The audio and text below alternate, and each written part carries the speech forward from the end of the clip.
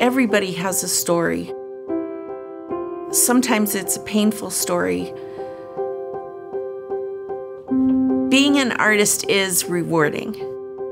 It's also frustrating. It can be a source of both pain and joy.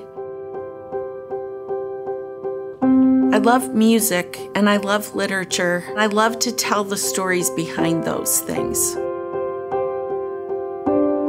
My sister played piano. I remember sitting as she would rehearse. I remember seeing the colors and the movement. And I always wanted to paint those things.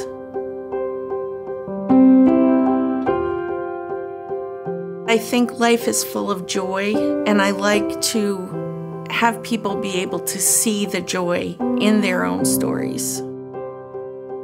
Media sends everything at us so fast.